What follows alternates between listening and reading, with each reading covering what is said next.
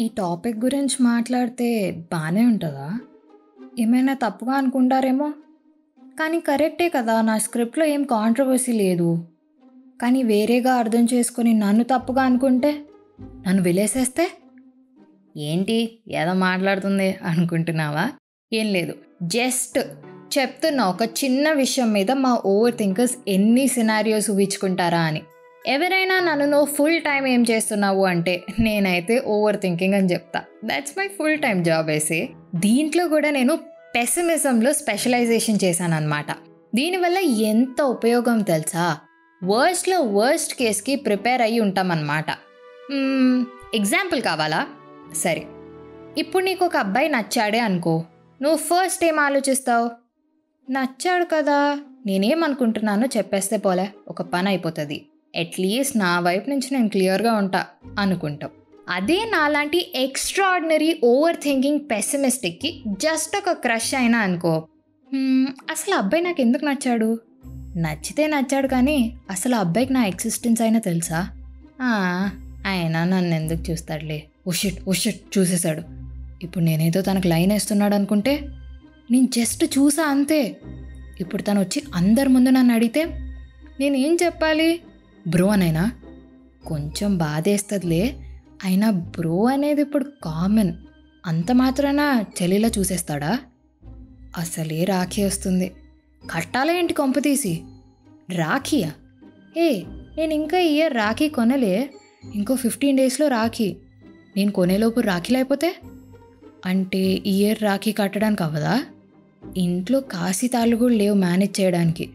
అసలు ఎవరైనా గిఫ్ట్ ఇస్తారంటావా? చిన్నగా ఉన్నప్పుడే బాగుండేది. మమ్మీయే కొనేసి ఇచ్చేది ఛీ ఛీ ఛీరితో గిఫ్ట్ కోసం ఏడుస్తావేంటి?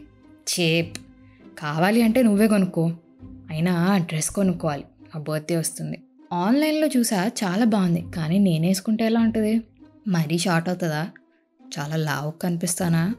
అంటే నాకేం ప్రాబ్లం లేదు. కానీ చూసేవాళ్ళు ఏంటి పిల్ల ఎలా ఉంది అనుకుంటే ఫోటోలు సరిగ్గా రాకపోతే అసలే ఇన్స్టాగ్రామ్లో పెట్టుకోవడానికి ఏం లేవు. వెయిట్.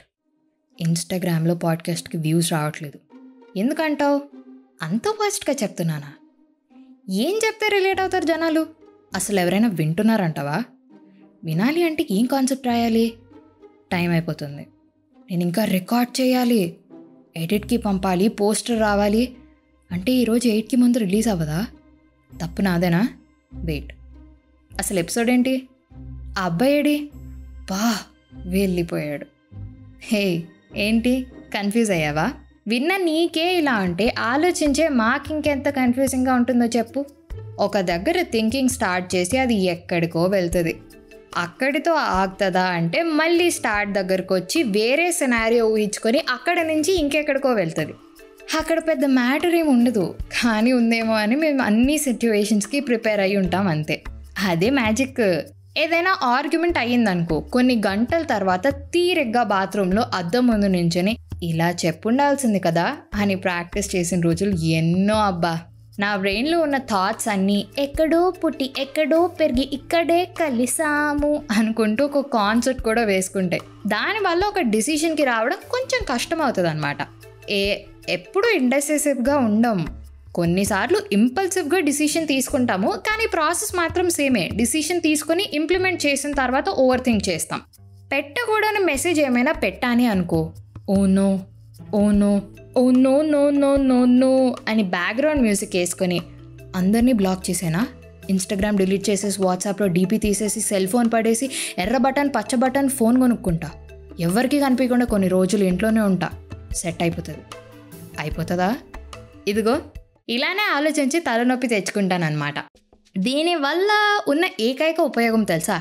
ప్లాన్ ఫ్లాప్ అయ్యిందనుకో పెద్ద ప్రాబ్లం ఉండదు. ఎందుకంటే అది నేను ఆల్రెడీ ఊహించాను కాబట్టి నాకు పెద్ద ఎక్స్పెక్టేషన్స్ లేవు. నువ్వు నన్ను ఏమైనా అన్నావు అనుకో అప్పుడు కూడా నాకు ఫరక్ పడదు ఎందుకంటే నన్ను నేను ఆల్రెడీ క్రిటిసైజ్ చేసేసుకున్నా కాబట్టి. నో. బట్ సీరియస్లీ ఇది నేను కావాలి అని చేస్తుంది కాదు. నువ్వు ఓవర్ థింకింగ్ చెయ్యకు. అంటే నేను మానేయగలిగేది కూడా కాదు. I can't stop it and I know it gets irritating sometimes and I can't help it I'm trying to be a bit more gentle on myself నువ్వు కూడా కొంచెం అర్థం చేసుకో కదా? ఇలా చెప్తే బాగానే ఉంటుంది కదా? నువ్వు చెప్తే నేను వినేదేంటే అనుకుంటే నాతో మాట్లాడడమే మానేస్తే? ఇదిగో ఇది ఇప్పట్లో తేలేదు కాదు.